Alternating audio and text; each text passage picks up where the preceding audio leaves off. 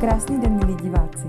Vítám vás u dalšího dílu Hustopeckého magazínu. Podívejte se, co přinesl uplynulý týden. První černovou sobotu se areál kostela svatého Václava změnil v místo, kde se konala velká narozeninová oslava. Farnost pořádala pro děti další dětskanádu. Druhý ročník MKFestu nabízel návštěvníkům jedinečnou příležitost zažít zábavu a také si odnést spoustu zážitků.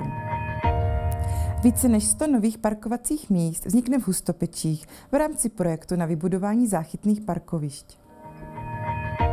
První koncert cyklu Concentus Moravia se konal ve čtvrtek 8. června v Kurdiovském kostele. Čtverice mužů z Tenores Guine di Nuoro svým hrdelním zpěvem rozvibrovala všechny příchozí.